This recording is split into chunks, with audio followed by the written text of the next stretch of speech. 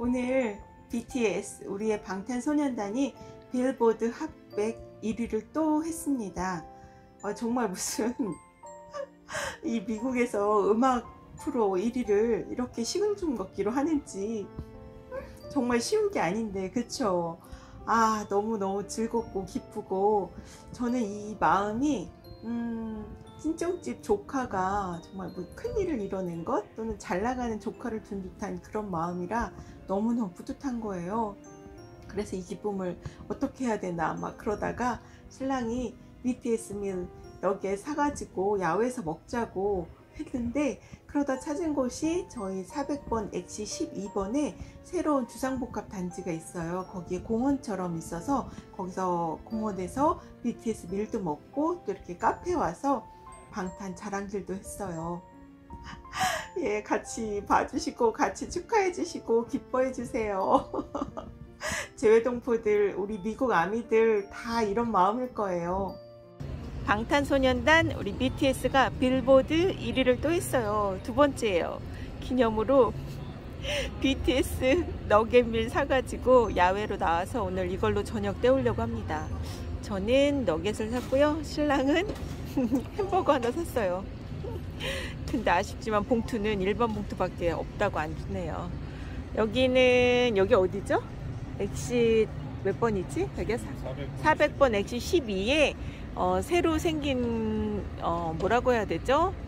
주상복합 한국어로 치면 H-A-L-C-Y-O-N 할사이온이 뭐야? 어, 그러니까 아파트도 있고 townhome도 있고 또 이렇게 상가들이 있는 그런 곳에 가운데 공원처럼 만들어 놓은 곳이에요.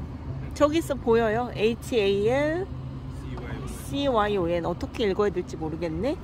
그래서 음, 여기 신기한 게 한국 고깃집 어, 철기 시대죠. 철기 시대도 있고 맥주집도 있고 커피 전문점도 있고 다음에 한번 저녁을 정식으로 먹으러 오려고 지금은 우리 BTS 축하 기념으로 저녁을 BTS 맥도날드 밀로 하고 있습니다. 자 드세요. 오늘은 방탄소년단이 이 많은 미국 사람들, 미국 노래 중에 빌보드 1위를 한두 예, 번째 날 6월 12일 그리고 6월 12일이 빌보드 어, 방탄소년단이 데뷔한 8년째 8년째가 되는 날이래요. 그래서 더 의미가 되게 깊고 음, 이번 주말에 이제 행사 온라인 행사도 있잖아요. 그래서 저는 미국 조지아의 텔란타에 사는 애틀맘이고요. 저는 이민 15년 차예요. 그리고 제가 방탄 아미로 살아온 지는 4년 차. 아우 이렇게 즐거울 수가. 오늘의 저녁은 BTS 맥도날드 너겟으로 때우고 여기 구경을 한번 할게요.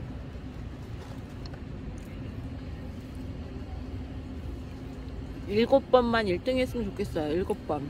세븐 멤버니까 사실 1등이 중요한 건 아닌데 어쨌거나 BTS의 그 1등을 해도 인정하지 않는 사람들을 위해서 빌보드 7번만 1등하면 음, 더 이상 딴 찍어는 사람들이 없을 것 같아요. 여기를 거닐다 보면 대부분이 백인이고 마스크를 안 썼어요. 어, 저희 부부만 아시안 그리고 마스크를 쓰고 있고요. 이게 어쩌면 어, 뭐라고 해야 되죠? 이 미국에서 빌보드 핫 100 1위를 한 우리 BTS 방탄소년단이 얼마나 대단한 일을 했나를 다시 한번 저는 느낄 수 있어요. 왜냐고요? 이렇게 다르고 음, 생각도 다르고 언어도 다르고 나이도 다른 이들의 감정을 터치했기 때문에 그 음악이 통했다고 생각이 들거든요. 뒤 아저씨가 막 손 흔들어서 신랑이 손 흔드는데 저는 저한테 흔드는 줄 알고 또 신랑한테 제가 손 흔들었어요. 어, 갑자기 여기 오니까 제가 농사 짓고 살고 싶다는 음. 마음이 싹 사라지면서 다시 그리운 서울 생각이 나서 일로 이사 오고 싶은 거예요. 저희 신랑은 너무 좋다고 저희 집 렌트 주고 여기 아파트로 이사 오자는 거예요. 그 RM의 서울 노래 I love you 서울, I hate you 서울 그 노래 들으면서 정말 그 복합적인 감정에 굉장히 많이 울었었던 그 기억도 나고요. 어제 RM의 노래 자전거 바이시클 한 세 번째 듣는데 눈물이 뚝 떨어지더라고요. 정말 어, 멀지 않아 기적은 진짜 소중한 건 눈에 보이지 않아. 어, 그 대목에서 눈물이 막 나는 거예요. 이 20대가 부르는 만든 노래에 50대 제가 또는 많은 사람들이 음, 공감하고 또 눈물도 흘리고 웃기도 하고 그래서 BTS의 노래가 언어나 인종 또 세대를 다 뛰어넘어서 공감할 수 있는 것 같아요. 울어도 돼. 원래 행복하면 슬퍼. 슬플 땐 자전거를 타. 와, 진짜 예술이죠? 시죠?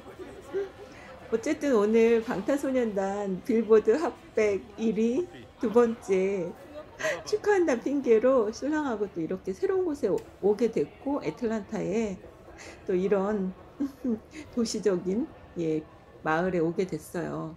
어, 커피 한 잔 마시자고 신랑이 저 끝으로 가보라고 사진 찍어준다고 해서 걸어가는데 의외로 여기에 또 커다란 칠판에 어, 한국에 이렇게 뭐죠 태극 문양 붙- 같은 그런 걸 붙여놔서 아 또 여기다 또 저희 방탄소년단 자랑질을 하고 왔어요. 누군가 외국 아미가 보면 어, 또 거기다 뭘 써놓지 않을까? 다음에 한번 다음 주에 가봐야 되겠어요.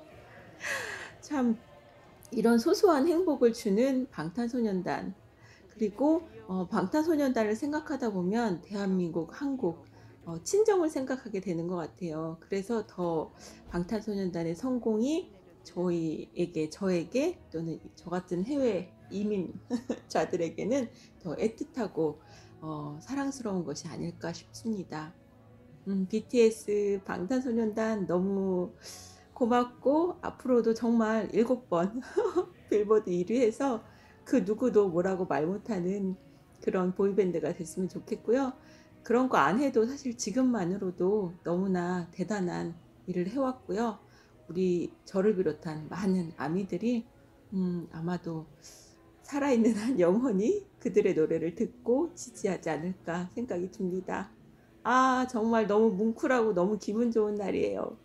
BTS 만세! 대한민국 만세! 죄송해요. 저도 미국에 살면서 이렇게 외친다는 게 어쨌든 너무 좋아요. 좋아요.